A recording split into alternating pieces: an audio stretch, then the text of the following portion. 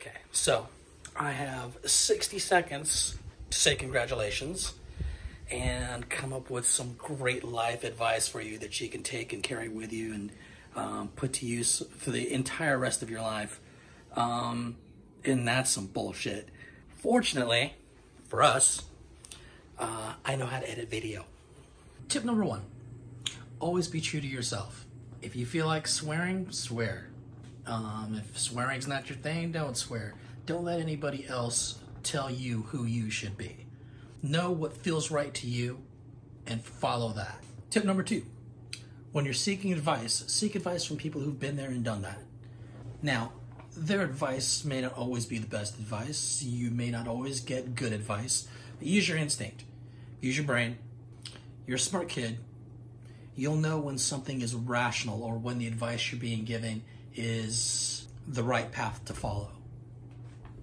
Tip number three in heat of battle, or just having an argument with your girlfriend, um, take two, three, four, five seconds to think before you speak.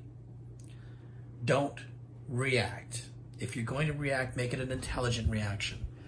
Have some thought behind it.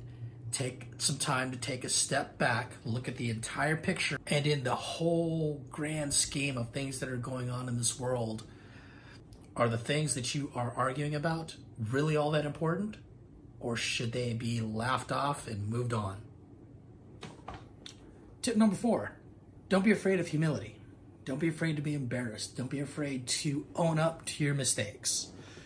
If you made a mistake, own up to it and then do what you need to do to fix it.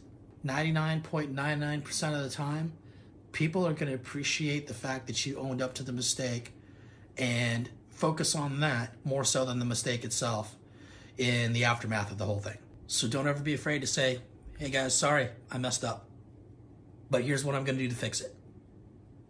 Tip number five, and probably the most important one don't let people tell you how you should feel or how you should react.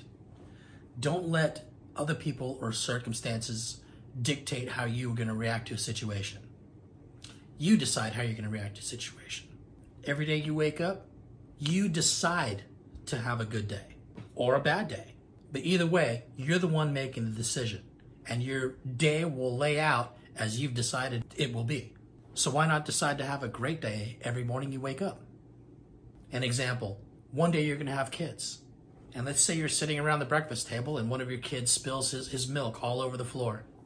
Do you decide to get angry about it or do you decide, not a big deal? We're going to clean this up and we're going to move on with the rest of our day and you're going to smile and move on. That's what I'm talking about.